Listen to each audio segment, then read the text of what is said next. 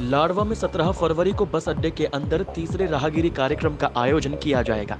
इस कार्यक्रम की तैयारियों को लेकर आज लाडवा के एसडीएम अनिल यादव ने तमाम विभाग के अधिकारियों के साथ एक बैठक की।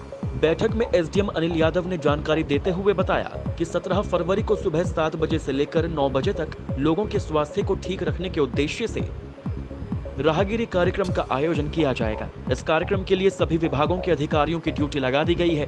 इस कार्यक्रम में शहर की कई धार्मिक और सामाजिक संस्थाएँ भी हिस्सा लेंगी और कई तरह की प्रतियोगिताओं का आयोजन भी करवाया जाएगा।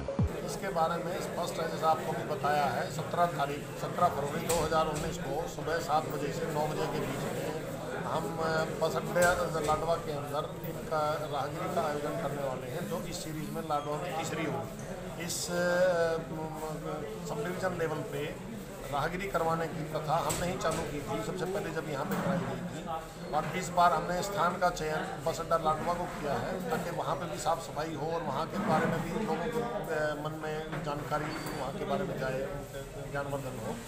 और सफ़ाई व्यवस्था भी वहाँ की दुरुस्त हो। इसलिए वो किया है। अगर बारिश वगैरह का कुछ व्यवधान आता है इस पूरे प्रक्रिया में तो हमारा ये वाला इशू यहाँ का क्लियर रहेगा। इस जगह पे कराया जाएगा। अल्टरनेट साइड हमारी ये अनाज मंडी लाडवा रहेगी सत्य खबर के लिए लाडवा से नरेश गर्ग की रिपोर्ट। आप देख रहे हैं सत्य खबर। सत्य सटीक बेबाक।